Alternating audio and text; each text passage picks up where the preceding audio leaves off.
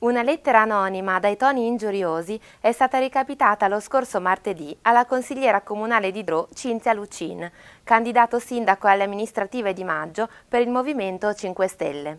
La vicenda è stata illustrata questa mattina in una conferenza stampa alla presenza di tutti i consiglieri grillini dei comuni di Dro, Arco e Riva del Garda. Del caso sono state informate le autorità competenti, la Presidente del Consiglio Genetta Santoni e il Sindaco Senatore Vittorio Fravezzi. Sulla missiva è stato citato e minacciato anche il capogruppo Alvaro Tavernini. Difficile per i consiglieri droati del Movimento 5 Stelle collegare la lettera anonima a qualche episodio particolare. La lettera è stata bollata a Verona. E oggi stiamo a fare una conferenza stampa in quanto è successo un fatto molto increscioso questa settimana, martedì nello specifico. Eh, ho ricevuto una lettera, nella, prendo la cassetta delle lettere, quindi una missiva spedita regolarmente eh, tramite il servizio postale e aprendola ho trovato delle offese alla mia persona e nonché delle minacce. Eh, non sono stata solo io l'oggetto di questo documento, ma anche il mio collega consigliere Alvaro Tavernini che è qui a fianco a me.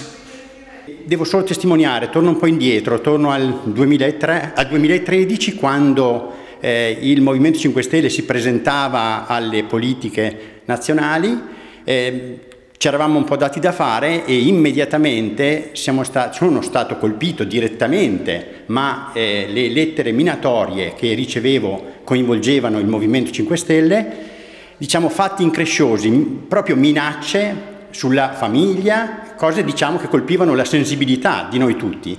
Noi però il nostro diciamo, eh, sentimento, il nostro volere è ben fermo. Noi non ci stiamo perché questa classe diciamo, che ci ha governato fino adesso, il modo di fare che c'è stato, non ci piace. Vogliamo più trasparenza, vogliamo più onestà vogliamo che il cittadino diventi il soggetto principe di ogni decisione.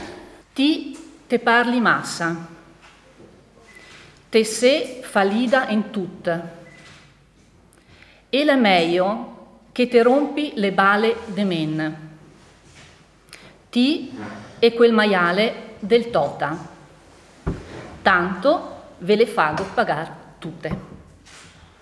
E Sotto questo testo hanno riportato la fotocopia di una fotografia apparsa a dicembre sui giornali a seguito di un consiglio comunale di Arco del 15 dicembre per l'esattezza, quando si parlava di sanità c'erano anche l'assessore Zeni e il direttore Flor.